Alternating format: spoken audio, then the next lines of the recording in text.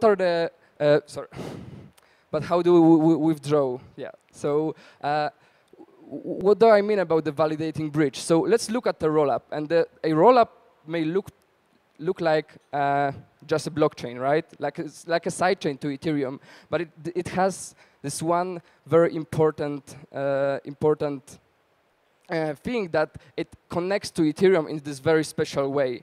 Uh, and it connects to the to Ethereum via this validating bridge, right? So when we zoom into the base layer to our Ethereum blockchain, uh, we can see that there is this smart contract, or rather a smart contract system that's called uh, the validating bridge. And uh, yeah, Rollup has uh, Rollup is is working somehow with this validating bridge. Uh, so let's uh, zoom in a little bit more. We can see that our funds, our money that we put on the Rollup from Ethereum, are sitting here somewhere in this in this validating bridge in an escrow contract. And if we enhance here, we can see that there is also some connection between the, the, what's happening on the rollup and uh, what the bridge knows about. So basically, we want to uh, rollup is is this uh, this validating bridge uh, just needs to be convinced about what is the current rollup state. So how do we withdraw from the rollup? Basically, what we what we need here is we need this this rollup data and uh, the state commitment. And uh, if we have the rollup data, uh, then we can prove to, to, to the validating bridge that, for example, via, via Merkle proof, because the state commitment is just a Merkle root of the, of the, um, of the state tree, we can prove to the validating bridge that we own some funds, and this bridge will, uh, will release our funds to us. So why are, are those funds even at risk, right? Like it's, uh, this uh, diagram looks quite, quite good here. And the answer is because of the centralized oper rollup operators. And uh, this is uh, basically where most of the risk of rollups come from. But those systems are built in a way that, uh, that should not allow the operators to act maliciously. So uh, let's let's let's let's look at the first uh, at the first part of our of our risk framework. So this is state validation. What does it mean? Uh, so what we want to answer in this uh, in this column of our risk framework is: Is it possible to find to find out if the state is valid? So I told you before that there is this state commitment, which is uh, a root of the state tree. And uh, this guy here in a mustache and a big hat, he is proposing the state. That's why we call him a proposer. And uh, uh, let's. And the thing is that most rollups actually don't allow you to. Uh, I mean, rollup, rollups itself. That's the, that's the that's the idea behind a rollup. It won't allow you to to post invalid state because there is uh, this state, there are different state validation techniques. Uh, probably you heard about them. One of them is optimistic. One of them is uh, zero knowledge. I don't, I don't want to go into too, too many details about them uh, because the, the thing is that this is the, the oldest column of our risk framework and uh, we are actively uh, we are actively trying to improve it. Because even though uh, here we, we, we show, for example, that ZK proofs are not, uh, don't bring any risk behind them, that's not really true because you have to trust the math. You have to trust that the implementation of the math was done correctly, there is no bugs. And uh, so we are now actively working on changing this, uh, this column and to, to make sure that we actually put the trust assumptions there and not the, the technicalia. We obviously look at the technicalia, but we want to uh, make sure that users don't have to care about that. The users basically want to know uh, what's, what are the trust assumptions there. Okay, so we have the state validation. thanks to the ZK math, thanks to the optimistic fraud-proof game, we know that the state commitments is valid, right? Uh, so can we withdraw now? Not so quickly. Uh, let's look at the, the second column. This is data availability. And uh, what we want to answer here, the question we want to answer is, can we reconstruct the committed state. So uh, the thing is that the state commitment here, uh, it's just a root. So it's, it's a very tiny uh, amount of data that's representing ginormous state. The state can be a couple of gigabytes or, but, and it doesn't need to be held on Ethereum. Uh, but the, the question is if we can reconstruct the, the state so we can know the pre-image of the state commitment so we can put a Merkle proof so we can withdraw, right? That's, that, that's our question. Can we withdraw our funds? Are our funds uh, still safe? And the thing is that if the rollup data is posted on chain and, uh, and the validating bridge has uh, like, you know, few, few lines of code that ensure uh, that the state commitment can only be posted if the rollup data was uh, was committed before, so we are good. If the, if, the data is committed on chain, is posted on chain, we know it's available, uh, but there is a drawback of that, right? Because the data availability on Ethereum layer one is quite expensive. So uh, yeah, let's let's not maybe maybe let's not post the data on chain, but let's just post it on some on some cheaper server, right? And uh, so we, so we just post blocks on some cheaper server and then tell our base layer that, yeah, we have this data and it is available, right? Anyone can, can look at it and anyone can, uh, can, can basically, uh, it, it will be made available to anyone. But there is a problem with this solution because the thing is that it's, it's putting another point of failure and uh, it's here with the, with what the sequencer is telling to chain. It's basically saying that, yes, I have this data, it has been available, but the base layer doesn't have a way of confirming that. And uh, basically, the moment that this data is not available to us, we cannot reconstruct the state, so we cannot withdraw because we cannot put the Merkle, Merkle root, uh, the, the, Merkle proof of, of the ownership. Everything's burn, everything burns in a big fire, and uh, it's called the data withholding attack, which can be catastrophic. Uh, but so that's why it's very important that right now that the data is available, and right now the best way uh, of ensuring the data availability is posting the data on chain. Uh, right now, there is also, uh, we can also post into, into data availability committee, which is basically the same as here, but uh, it's not one person uh, promising the data availability, but a multi-sig, so more people than one. And um, so it, it's still like, you know, yellowish gray area there are other data availability solutions, and they're, they're, they are actually on the rise right now. Uh, you, you, probably know about Celestia, Avail is coming, NearDA, uh, 4844, and all that cool stuff. If anyone wants to talk about that, I'm very happy to do that because we are currently working on evaluating those. And uh, that's my goal here on ETHDenver to, to learn more about all those data availability solutions. So uh, if you want to, uh, please hit me up, and uh, I'm happy to talk about those. But the thing is that right now, uh, we don't have good data avail availability bridges to Ethereum from, for example, Celestia. That's why we consider it red. And, but yeah, hopefully soon it's going to change. Oh, not this way.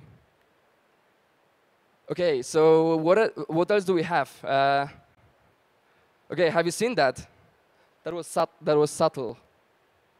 So I lied to you on the very beginning. And uh, the thing is that the validating bridge, it's often upgradable. Uh, as I say, this is not a single contract, but there is many contracts that hold some logic inside of the validating bridge that are actually upgradable. And um, yeah, who thinks it's actually wrong that those contracts are upgradable? And the thing is that I don't really think it's wrong because you know Ethereum upgrades, and if you want to have uh, a rollup that is EVM uh, that is EVM equivalent, you will have to upgrade it after some time, right? Uh, so we just want to make sure that those upgrades are done in some very specific way that doesn't hurt, hurt users, and specifically, they don't put the breached founds into, uh, into more risk, okay? So that's the third column of our uh, risk framework. This is called exit window. And I want you to think about exit window as basically upgradability with extra steps. Uh, so we want to think about the exit window as just a number. It's the upgrade delay. Uh, so we don't want to have instantly upgradable contracts, uh, but with some delay, for example, 7 days, 30 days, with some time lock. But we need to subtract the permissionless withdrawal delay from that. Because, for example, with the optimistic, uh, with the optimistic rollups, uh, it's it's always seven day withdrawal time, right? With zkSync Era, there is always one day withdrawal time. You, you, you cannot get it instantly. So uh, we need to make sure that uh, if, there is a, if there is a malicious upgrade coming, you can front run this upgrade and withdraw uh, your funds. And uh, so yeah, we decided on those, uh, on those days, we think that, that for, for, for this for that this exit window should be at least 30 days for uh, for a mature system and uh, less than seven days is unacceptable. Uh, there is no time for people to realize that and actually uh, try to do something about it. Uh, and the thing is that bugs happen, right? And uh, those, those validating bridges, those are some of the most complicated smart contracts that are on Ethereum right now. Um, so there is a solution for that, and it's called Security Council, which is uh, basically a very fancy name for a multisig, but a very nice multisig. So we want to have a Security Council, which is a big multisig with high threshold, with uh, publicly stated people who are um, or, or, companies who are uh, who are assuring that they will never use this uh, this power to to accept the uh, instant upgrade or, or, or, or, rollback, for example, or, or pause withdrawal, something like that, that, and they will only use it in case of, of, of possible bugs that can lead to stealing funds by, by somebody.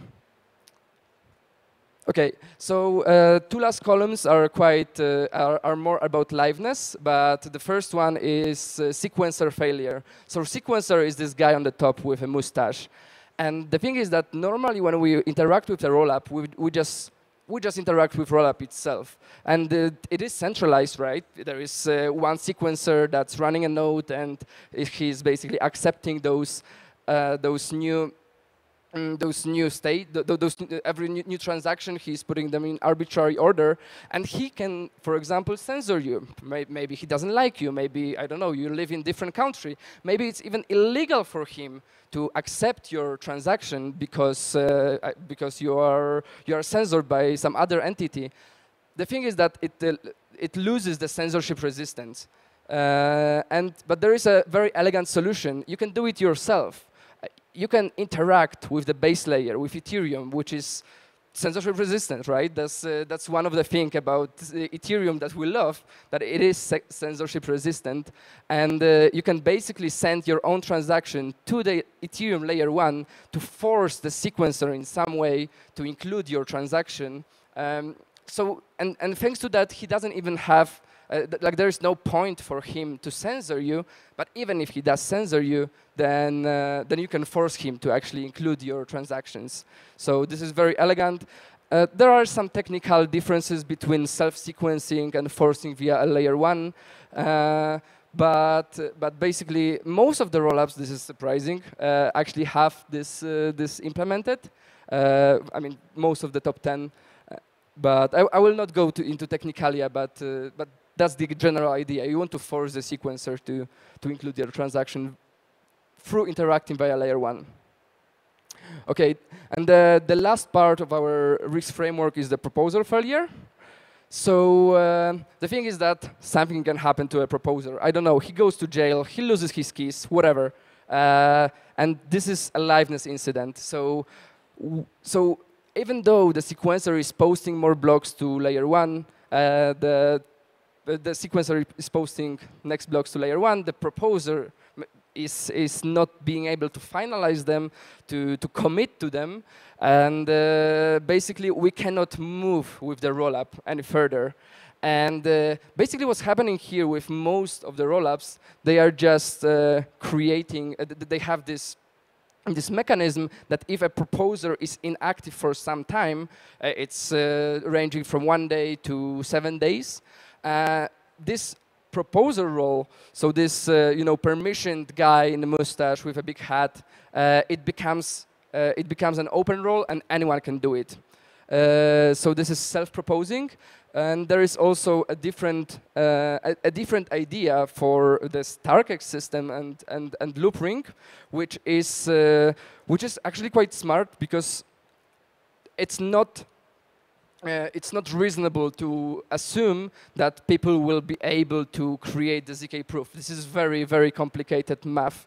And uh, so what they are using is that yeah, you need to basically reconstruct the state and prove to layer one that you own some founds, that you did own, own some founds. So basically, if the proposer is inactive or is censoring somebody for too long time in StarkEx, uh, you can just stop this system. And uh, it's being frozen, and it's, uh, it's not reversible. And the only way to escape, and everyone will have to do it, is to use the escape hatch.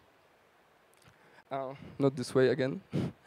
okay, so uh, this is all of our risk framework, and uh, you can sleep peacefully now. Uh, so if all of those things are green, hopefully in the future, obviously our risk frameworks also uh, includes bugs, but you should be able to sleep peacefully. Your founds should be should be safe. Uh, so uh, this is it in terms of uh, this uh, our risk framework, but a little bit of history. This is a historically inaccurate uh, picture of how these risk frameworks were created as as um, internal internal work for MakerDAO of making sure that, that you know the that the chains, that the layer twos that DAI is deployed are, are safe.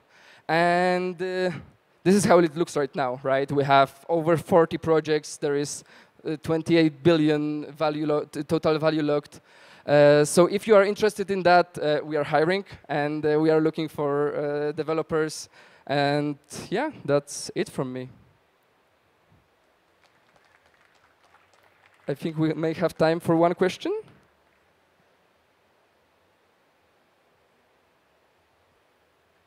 Yeah, you have to shout. I don't, I don't know if we can do it, actually. you're too far. Yeah, just hit me up afterwards. Okay, that's it. Thank you.